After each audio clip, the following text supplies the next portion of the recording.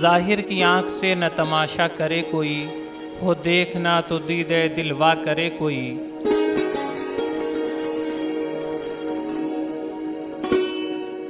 منصور کو ہوا لبے گویا پیام موت، اب کیا کسی کے عشق کا دعویٰ کرے کوئی؟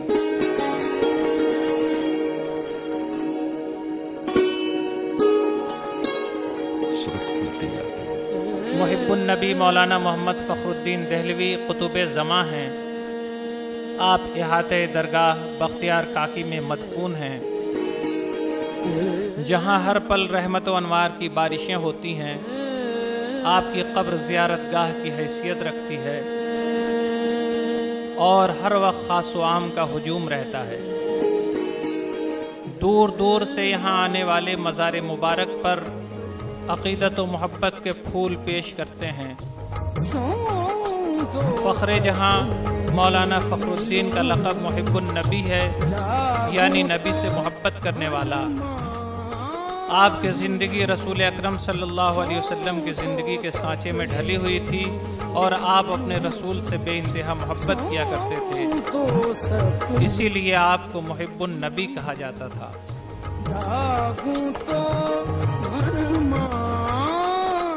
حضرت فخر دہلوی کی ولادت گیارہ سو چھبیس ہجری کو اورنگ آباد میں ہوئی، جو جنوبی ہند کا مشہور شہر ہے۔ نصبی اعتبار سے آپ خلیفہ اول حضرت ابوبکر صدیق رضی اللہ تعالیٰ عنہ کی نسل سے تعلق رکھتے تھے۔ شیخ شہاب الدین سہروردی آپ کے جد امجد تھے۔ والد بزرگوار حضرت نظام الدین اپنے دور کے معزز عالم دین اور صوفی تھے۔ آپ کا خاندان اودھ کے کاکوری علاقے میں رہتا تھا۔ والد محترم شیخ کلیم اللہ شاہ جہان آبادی کے مرید و خلیفہ تھے۔ اپنے مرشد کے حکم سے وہ دکن تشریف لے گئے اور عوام کی رشت و ہدایت کے کام میں لگ گئے۔ یہیں حضرت فخر الدین کی ولادت ہوئی۔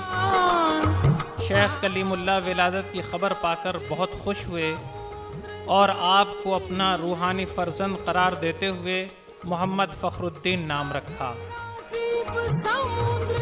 شیخ کلیم اللہ نے فرمایا کہ یہ فرزند شہر شاہ جہان آباد کو اپنے نور ہدایت سے روشن کرے گا۔ مرشد کی بات سو فیصد سچ ثابت ہوئی اور آپ سے ایک زمانہ فیضیاب ہوا۔ بے شمار لوگوں کو آپ کے ذریعے ہدایت کا راستہ ملا اور انگنت افراد نے آپ کے ہاتھ پر توبہ کی۔ آپ کی تعلیم و تربیت والد کے زیر سایہ ہوئی۔ ان کے علاوہ بھی آپ کے کچھ اساتذہ تھے جن سے آپ نے کئی علوم و فنون حاصل کیے۔ تفسیر و حدیث کے ساتھ ساتھ تصوف اور طب کے موضوع پر بھی آپ نے کتابیں پڑھیں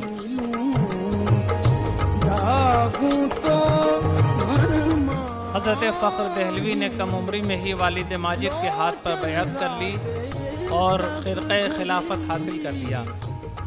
آپ کا زیادہ تر وقت اللہ کی عبادت میں گزرتا تھا۔ یہ عمل آپ پوشیدہ طور پر کرتے تھے۔ آپ کو لوگوں کے سامنے عبادت و ریاضت کرنا پسند نہ تھا۔ اسی لیے ذکر الہی بلند آواز سے کرنے کے بجائے آہستہ کیا کرتے تھے۔ لگ بھگ تین سال تک آپ نے فوج میں ملازمت کی۔ اور سپہ سالار کے عہدے پر فائز رہے۔ اس عہدے سے آپ نے اپنی مرضی سے استعفیٰ دے دیا اور پورا وقت اللہ کے بندوں کی خدمت میں گزارنے لگے۔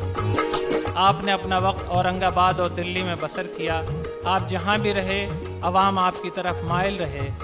کیونکہ آپ کے اندر بے حد انکساری تھی اور لوگوں کے ساتھ اچھا برتاؤ کیا کرتے تھے۔ ہر شخص کی تعظیم و تکریم کیا کرتے تھے۔ بہت زیادہ سخی تھے اور جو کچھ پیسہ و سامان نظر و نیاز میں آتا، اسے لوگوں میں تقسیم کر دیا کرتے تھے۔ مولانا محمد فخر الدین دہلوی نے کئی کتابیں تصنیف فرمائیں جو تصوف و روحانیت کے موضوع پر ہیں۔ آپ نے فرمایا کہ جس قدر زیادہ ہو سکے اللہ کا ذکر کرنا چاہیے۔ اللہ کا ذکر ہر ذکر سے بہتر ہے۔ آپ نیک اعمال پر زور دیتے تھے اور فرمایا کرتے تھے کہ نوافل، تہجد، اشراق، تلاوت قرآن اور دروز شریف پڑھنے کو اپنے اوپر لازم کر لو۔ آپ نے فرمایا کہ دنیا آخرت کی کھیتی ہے۔